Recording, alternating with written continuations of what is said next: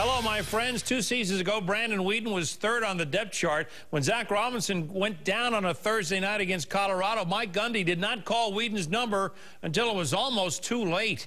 Caden with more on Thursday night, Brandon. As an inexperienced quarterback, do you blitz the heck out of him? It was the game that started it all for Brandon Weeden. Scrambles, now fires for the end zone, has a man open, touchdown! I remember the Colorado game like it was yesterday. I remember every throw I made. I remember everything good, everything bad. I remember everything about it. You know, it's funny because it just it happens to be a Thursday night.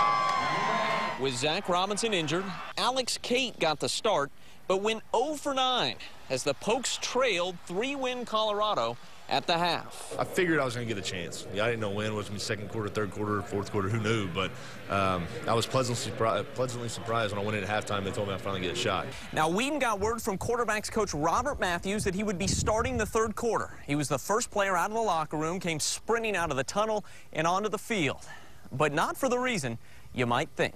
I didn't have my helmet. I think, I don't know if I told you guys right. My helmet was still on the field. So I was the first one to run out of the tunnel. I sprinted to the sideline, grabbed my helmet, started warming up, and the rest to be told. oh, so he left it out here to go into, yeah, I mean, it's pretty smart. No reason to carry it all the way in if you're not going to use it. Uh, no, well, as I was saying, I, from now on, I never leave my helmet on the sideline. Weeden found his helmet and found Justin Blackmon in the end zone for the first time. Justin Blackmon. To this day, I think that's still one of the more I don't want to be cocky, but I think one of the more impressive throws I've made, you know, and it just happened to be to Blackmon. You know, I think if you look back at that throw, I mean, I think it was something that kind of started, you can look at it and it kind of started what was last year, I guess. Yeah, I think, you know, that Colorado game stands out, you know, a little bit more than some of the other. In Stillwater, Caden McFarland, 2 News works for you. Caden, thank you. Arkansas Athletic